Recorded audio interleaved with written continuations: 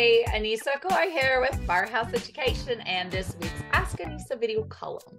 And this week, our question came in from Tiffany in Colorado. And here's what Tiffany had to say Hey, Annissa, I am really struggling with my boss and his expectations of how long it should take me and my team to complete a job such as pack out, content cleaning, and the structure cleaning. I mean, is it realistic to expect all of this to get done in a 30 day period of time? Doesn't seem like that is possible to me, as we take about two and a half to three months currently as a timeline for all three phases of this type of cleaning job. Do you think with more training and maybe better systems, we could realistically get a job completed in 30 days? That just seems like a really fast turnaround, but I really anxiously await your response. Thank you so much for helping a girl out with your expertise. Feeling stressed in Colorado, Tiffany. Okay, well, Tiffany, I'm very sorry you feel stressed. So, first off, take a deep breath, let it out. That's what I call wusa.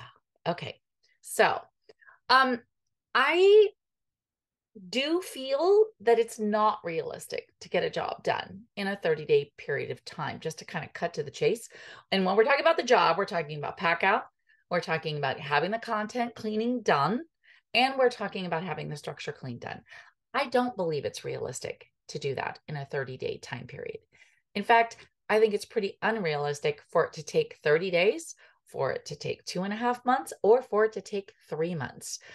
Did you know that the average time to process a job in my research that I've done is about 90 to 120 days in the US?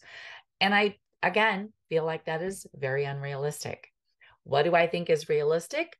I feel like having the pack out complete, the structure clean complete, and content cleaning complete and done so we know exactly what is salvage and what is non-restorable is more realistic to have that done in 14 days 7 to 14 days period.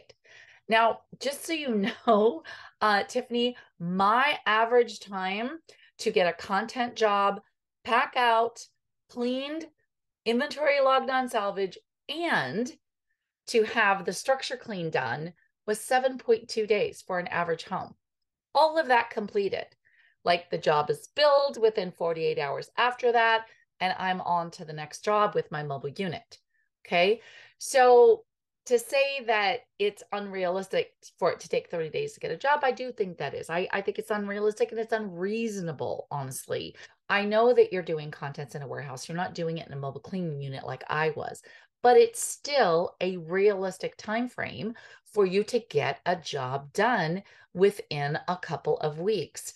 Now, the problem and the reason that I think most jobs take a lot longer is primarily because restoration companies will go pack out the contents, stick them in the warehouse and vaults, and then they think, oh, the structure is going to take, you know, three months, four months, six months to get done.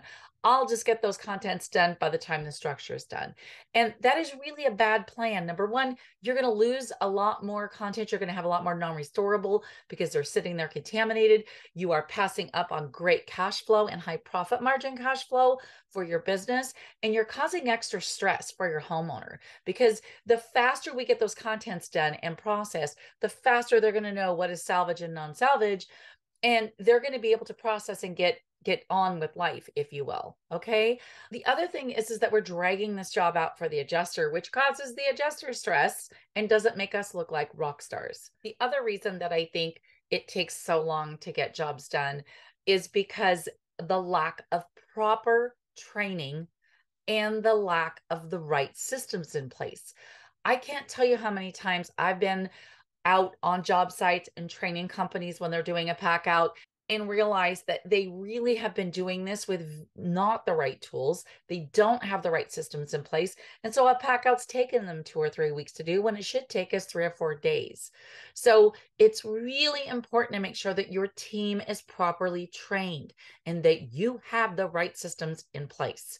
The other thing is, is you've got to give your fire jobs, your cleaning jobs, a priority. You can't just take three or four people one day, you throw them at the job, and then a water loss comes in a couple days later. So now you pull them all and they're off the job for a couple days. Now they're back on the job. Like you wouldn't do that with a water loss, and you shouldn't do that with a fire uh, pack out or content cleaning or structure cleaning job either. These are still critical timelines, and time is important and of the essence, especially if we're in the summertime and temperatures are really warm. Okay. So we got to make sure that we're giving our fire cleaning jobs top priority as well and not just sort of putting them on the back burner and using them as fill in. All right. So what I want you to do, Tiffany, is I really want you to sit down and look at what's the size of your team. When you commit to a job, are you actually on the job and you complete it start to finish? Or are you pulling them off and kind of, you know, pushing them back and forth between water and, and, other work and then bringing them into the content cleaning when they have time you know using it as like fill in time for them? And what are you doing for your team as far as training? What kind of training have you given them? What kind of regular training are they getting? And where are they at on their skill and knowledge level? The other thing that I would ask you is what are you giving your team for the proper tools and equipment to get their job done? I was literally recently at a facility where they were cleaning out of five gallon buckets and microfiber cloths. There was no ultrasonic, there was no HEPA vacuum, there was not even a sink for them to rinse things out in. And we just can't give our team improper tools and equipment to get the job done and set them up for failure and expect for them to have success. Okay. So, the other thing that I want you to really think about and ask yourself is what kind of systems do you have in place? What kind of checks and balances in QC or quality control procedures do you have going on in your company? You know, it's really unfortunate, but I find this more often than not that a lot of companies have very poor training that goes on in their content cleaning facility. And then when they do get the training, they don't follow up and make sure that things are being done correctly and that their team is getting the support and feeling supported by the company. Okay. So I really want you to look at all of those aspects. And I really want you to think about this. Do I think that it's unreasonable to have a 30 day um, time period to to finish a job in absolutely not. I also don't think that it's unreasonable for you to get that job done in 7 to 14 days. And i want to challenge you to look at that and say how can i get this? What is it i need? What training what procedures what systems what equipment do i need for my team to be able to get a job done in that kind of a time frame? Okay? I want you to push yourself and i want you to do the the unrealistic because that's really where you should be on this topic. Okay.